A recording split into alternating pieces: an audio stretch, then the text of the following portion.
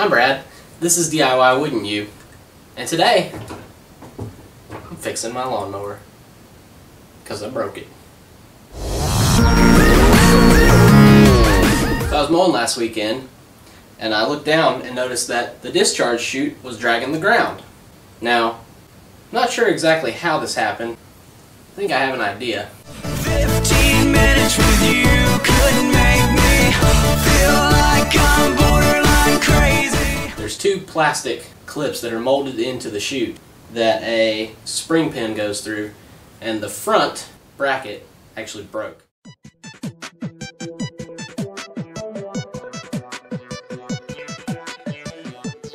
So the part that goes around the pin is still there, and the discharge chute is separated from it. I've looked up the part, and it's not that expensive. It's maybe $35. But if we can do it with something that we may have laying around the house, or something that we could pick up for cheaper, I'd rather do that temporarily or for good, depending on how well it does. Difficulty level on this project here is going to be as follows. Do you have a right or a left hand? In your lawn, do you have grass or dirt? Oh, you should be just fine then. For this repair, all you're going to need is hose clamps. I bought a two pack of hose clamps at my local Advance Auto Parts store for three bucks. These hose clamps are a size 12. It says it's for half inch to inch and a quarter hose. You're also going to need a drill and an 8 millimeter socket. And last but not least, safety goggles.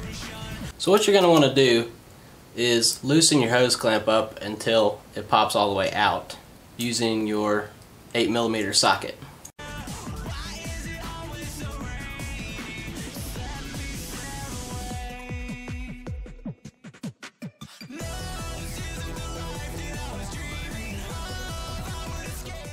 I'm going to center it up front to back in between here. I'm using an eighth inch drill bit just so there's plenty of room and I won't risk the clamp cutting into the plastic here.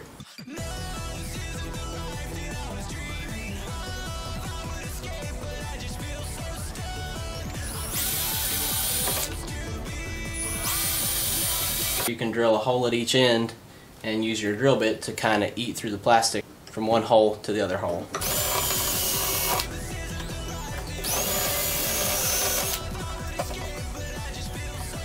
Actually to work pretty good.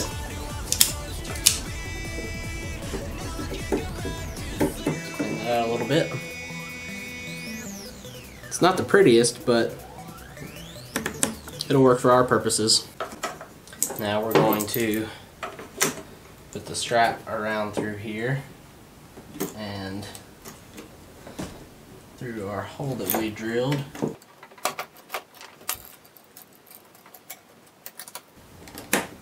Feed your hose clamp into the other side and start tightening down with your socket. I would be careful to make sure that the threaded part is on a more flat surface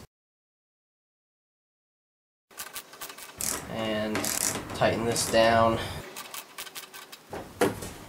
until you feel that it is secure. Looks pretty strong.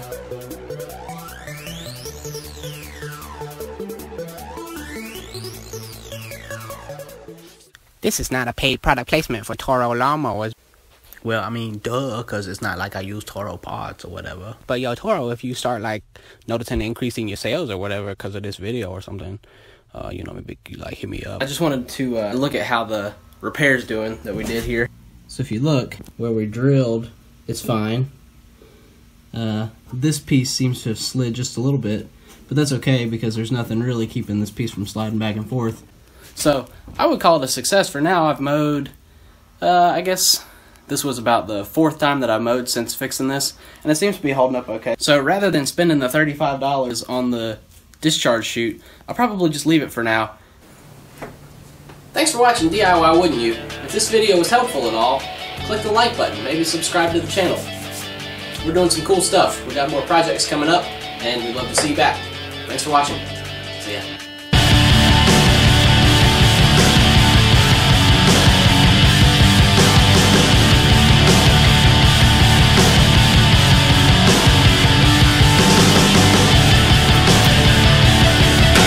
Now, I gotta get this thing fixed so my wife can mow for me. Oh, I'll probably mow.